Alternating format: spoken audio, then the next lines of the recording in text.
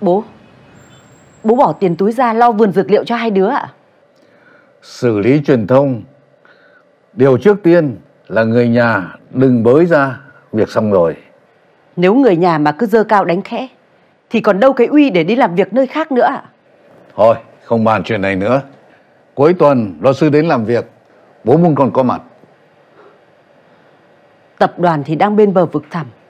Châu thì chưa biết thế nào Bố không thể đợi qua giai đoạn này hay sao hả bố? Bố sợ rằng lỡ như Lỡ như phải nghe tin không hay về Châu Thì bố đã ra đi Mà mọi sự chưa ăn bài.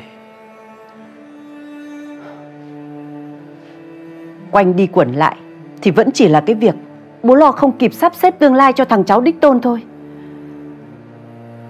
Con xin phép Bố biết, Con không hài lòng Với ông già lầm cẩm này. Nhưng không sao, Yên tâm. Con sẽ không phải bất mãn lâu nữa đâu. Nên để lâu đắng bia.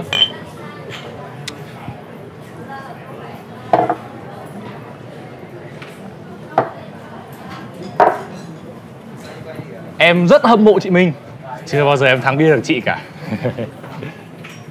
Sống làm người tử tế mới khó. Chứ thần bia thánh rượu thì có gì mà tự hào. Ờ vâng. Chị dạy gì cũng đúng. À thôi hai người cứ ăn đi. Em đi vệ sinh cái đã. Này Dù có chuyện gì xảy ra ấy, Thì chị cũng sẽ ở bên cạnh em. Đừng có suy nghĩ nhiều nữa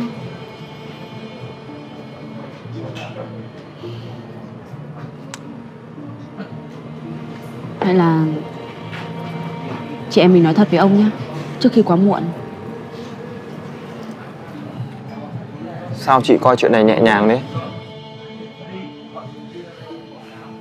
Cứ cho chị coi tiền bạc, địa vị, Như mây bay đi. Nhưng mà Bây giờ mà nói với ông Ông sốc thì làm sao? Nhưng nếu để chuyện này trở thành điểm yếu của nhà họ Cao để người ta lợi dụng ấy Như thế thì còn tệ hơn. Nói gở mồm chứ. Ông mà có mệnh hệ gì xảy ra ấy, Chị em mình sống làm sao được? Chuyện này ông Vụ đã biết rồi. Trước sau gì tất cả mọi người cũng sẽ biết.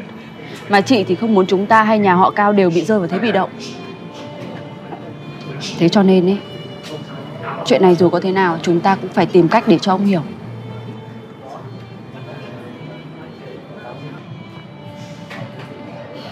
Chuyện gì có thể tìm cách được? Nhưng mà chuyện huyết thống làm sao mà tìm cách được ạ?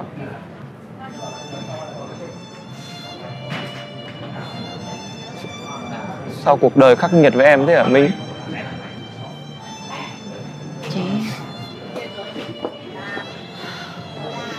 Chị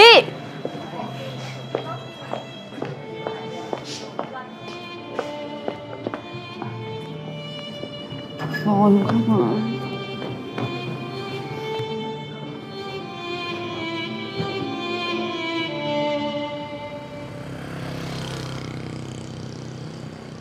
Không có dấu